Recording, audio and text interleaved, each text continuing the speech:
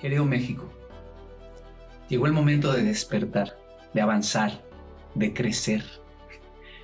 Creo en ti, creo en tu gente, en tus hombres, en tus mujeres, pero sobre todo creo en tus niños. Hoy creo en tus niños más que nunca y por eso he decidido hacer algo por ellos.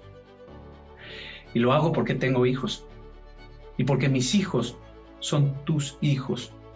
Y cada hijo de este hermoso país también es mi hijo. Por eso creo en las familias, en esas familias en donde nacemos, crecemos, nos desarrollamos, y es ahí en donde nos volvemos hombres o mujeres de bien.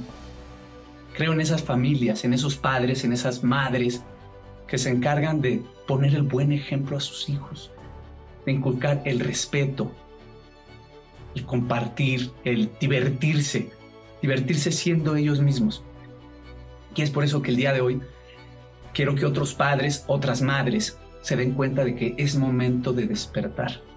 Yo soy un padre común, imperfecto, pero con muchas ganas de gritarle a México, de que a veces me duele, y me duele muchísimo, me duele, al igual que a ti estoy seguro, que nuestros hijos no puedan ser libres en su México como nosotros lo fuimos en nuestra niñez.